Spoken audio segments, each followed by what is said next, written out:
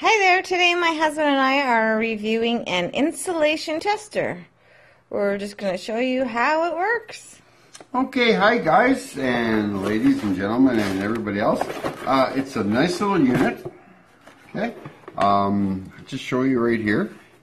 This, let's just pull these out. This is the cover for it. And it snaps right on. So when you unsnap it, and it locks in the bottom, so you've got protective on the back. It's uh, straightforward. Um, what a lot of people don't realize with these is uh, I could use my ohm meter to uh, test the motor to see if there's uh, any issues with it. What this does is it actually, we'll just uh, power it up. It's got an awesome LED and you can save it and it'll light it up for you. Let's put uh, the connectors in. Uh, this yellow one here, I'm not sure if you can see this or not. It's kind of yellow. This will actually give you, it's a voltmeter.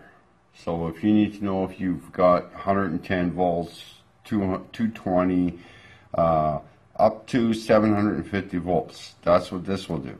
These other three are, uh, you got your negative, and the other two are for testing your motors. So that's what we're going to do. We're going to put this one in there, this one in there. Um, one thing to know, realize, remember is this actually has capacitors in it and it ups the output voltage where an ohm meter you can grab them, hold on to them. You don't want to do that with these. Secondly, um, 10,000, I've know of no motor that can do 10,000 volts. Um, let's see here. Right now I've got 110 volt motor and because I have no issues with it, it is not going to show anything if I had um, my coils were starting to break down, I had insulation leakage, it would show me some numbers. So let's just power down, power back up, and we're going to pick 250. There we go. And a solid, good motor with good windings, that's what you want to see. So let's just put that one, that one. Awesome motor. Okay. This motor here is a three-phase 550 volt motor. Uh, so now we're just going to change the setting to, uh, what's that one say? 500. 500. And that, see it reset. Uh, just do these.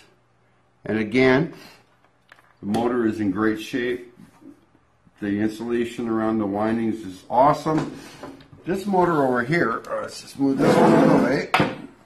This one here is out of a hot tub. It's a 220 volts, so we're going to back it back down to 250 because that's all we need. The terminals are up here. And again, if you look at the meter, everything is awesome shape. Where this meter really helps is if you have uh, coolers, um, compressors, that kind of thing. Uh, they're running constantly. Uh, the coil or the, the windings break down. Um, this could tell you if, if you check them every three months, it, it'll tell you if your if your compressor is breaking down or not. Time to get it fixed before it breaks down. Anyways, thanks. Thanks for watching. Okay. Also, which is really nice, is it comes with. Uh, two alligator clips. So you just plug them in here and plug this one in here. And that frees up your hands because now, without getting zapped, if I can, whoop, just a sec.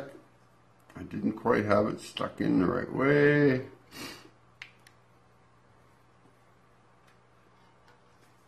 And yeah, we got the same thing. We can just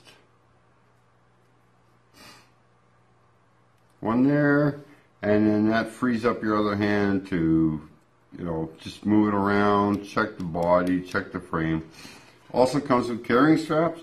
The only drawback I have with this, or, or Yeah, is the fact that there's no place for your cables. When you close close it up, you're stuck with your cables carrying them in your hand. That's the only issue I have.